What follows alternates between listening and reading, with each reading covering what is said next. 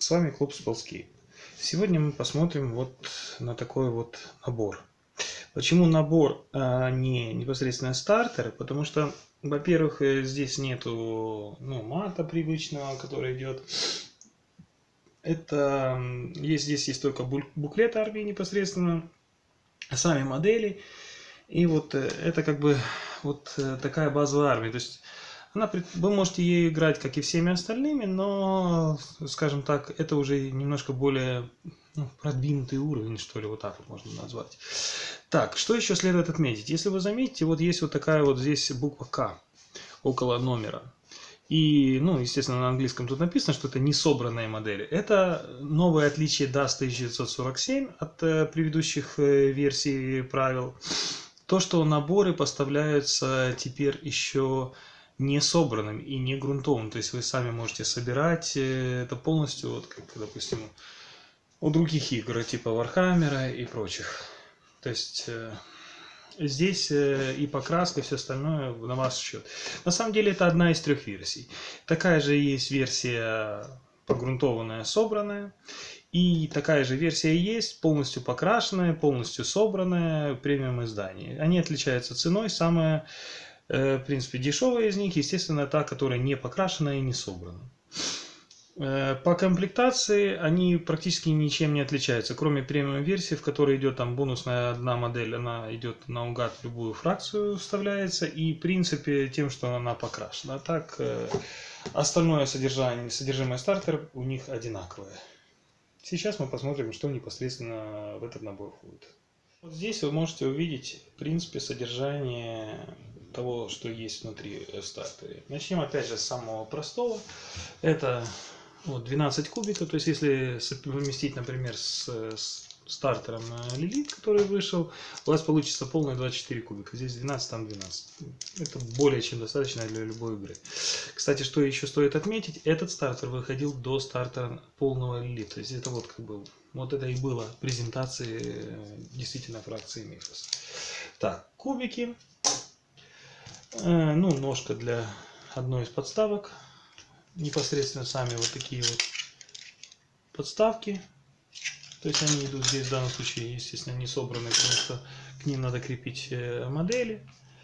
Вот сама книга, которая идет. Вы видите, здесь нету названия, здесь есть просто как фракция описана. Они, вот опять же, история, описание, кто, где и что. И, в принципе, сразу же как э, организовывать подразделение из них. Ну, подразделение это, в принципе, это и есть три вот эти модели. Специальные правила. Ну и анонс Кована Лилит, на который мы, в принципе, раньше уже делали видеообзор. Так, что еще стоит отметить? Ну вот, стандартные карты. Как вы видите, тут э, стоимость карт ну, по меркам Dust а огромная. 35 очков, 23 очка, вот, и 23 очка. То есть получается у вас 46 только на базовых монстров и 35 еще на вот такого вот э, лидера. То есть по большому счету, вот, ну, как я уже ранее говорил в видеообзоре Лилит, это вам даст э, армию вместе с Кованом Лилит просто ровно 99 очков.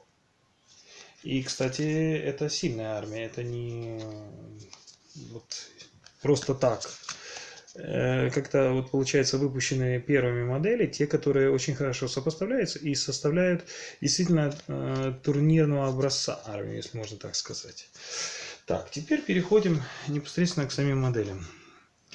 Ну, как вы видите, детализация в них э, ну, очень хорошая, даже можно сказать потрясающая, потому что и гибкость, и то, как сама сделана модель, очень хорошо. Собираются они, по большому счету, очень просто. То есть, если вы видите, вот, ну, ее все-таки надо склеить, потому что она так держаться особенно не будет. Я вам потом покажу. То есть, она заходит в пазы практически ровно. Вот так вот.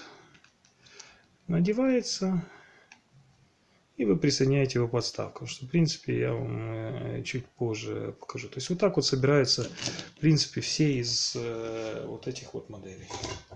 которые вот в данном случае мы видим. Сейчас вот, если говорить большой, тоже вот она достаточно просто вот так вот собирается.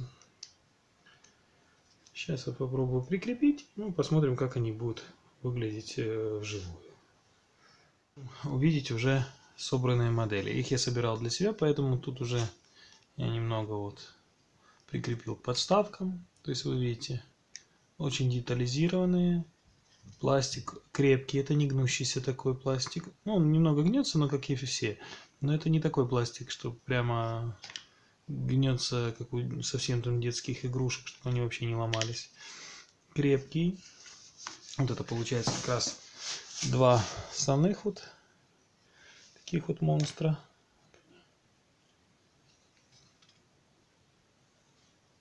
И вот из них самый большой, я пока его еще не крепил к подставке. Вот такой вот он. Для того, чтобы просто оценили размер, вот обыкновенный человек из Dust. То есть вот вы можете понять, насколько большой размер. То есть по большому счету вот эти вот монстры, они размером как шагоходы или танки. Ну вот этот как крупный танк, а это как стандартные шагоходы. Так что это достаточно большой набор. Он это очень сильные монстры, у них очень много различных способностей, жизней. То есть как раз вот это действительно являлось очень сильной заглавной армией, которая вот недавно только вышла. С вами был клуб Spellscape. Смотрите с нами новые обзоры.